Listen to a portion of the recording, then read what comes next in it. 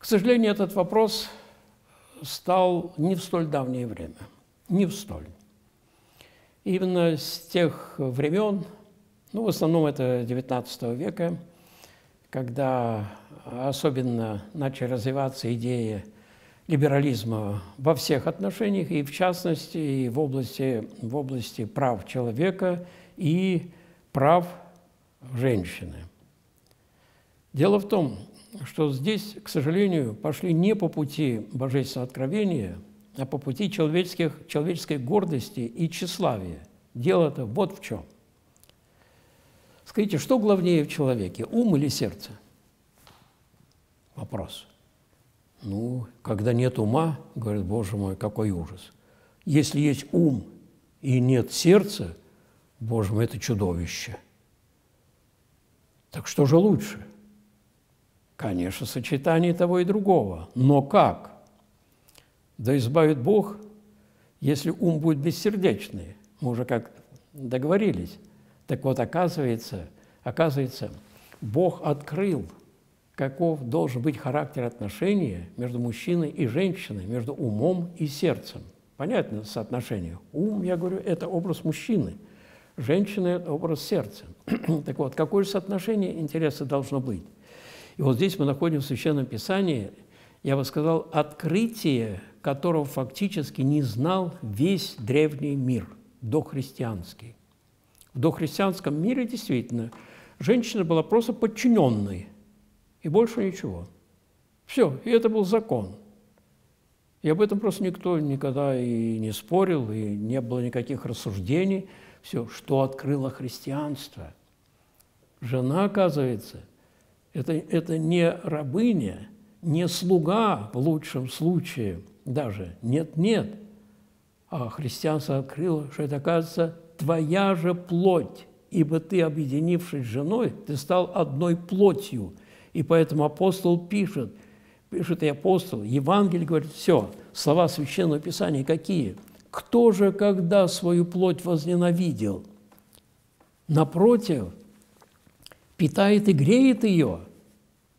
Вот, оказывается, что пишет апостол. Жена, оказывается, часть твоей плоти. Так все то недружелюбное, нелюбовное, тем более жестокое, что ты проявишь в отношении жены, ты этим самым что сделал? Себя ты режешь и колешь. Слышишь, муж? Себя. Потому что это отныне твоя же плоть. Этого никогда никто не знал. И отсюда становится так понятным, какого должно быть отношение мужа к жене, как к своей плоти. Какое отношение?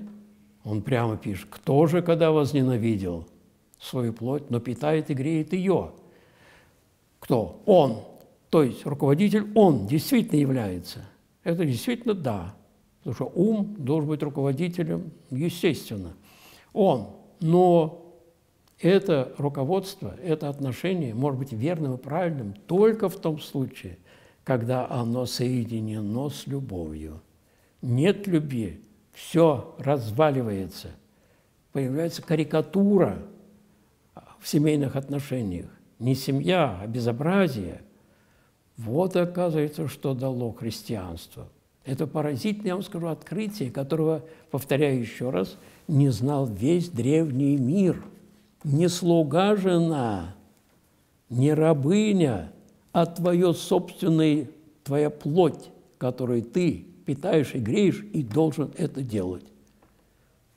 Вот отсюда и возникает, это, а, отсюда проистекает ответ. А если хотите, скажу вам нечто другое. Хотите, привезу вам стихотворение, одно очень интересное, одной древней мудрости.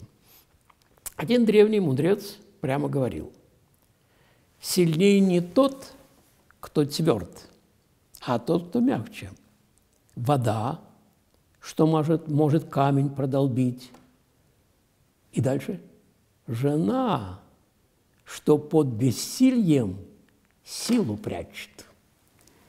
Оказывается, этим своим, кажется, смирением, ну не кажется, а действительно кажется бессилие. На самом деле – кто под смирением, оказывается, силу прячет. Вот оно, где сила. И тогда действительно когда у жены есть именно это правильное понимание характера своего положения, и когда действительно вот то, что христианство называет смирением, так проявляет. Здесь такая сила у нее оказывается, перед которой смиряется мужчина. Знаете, с кем борется? Кто с вами борется? Кто не борется, что ж с ним бороться? И вот мне многие, даже отцы, вы знаете, говорили, говорили вот, вот сыновья, я их парю ремнем, девочку, да я не знаю, что мне делать. Я не могу к ней прикоснуться. Представляете? О, кто, оказывается, сильнее, не тот, кто тверд, а тот, кто мягче, жена, что под, под бессильем силу прячет.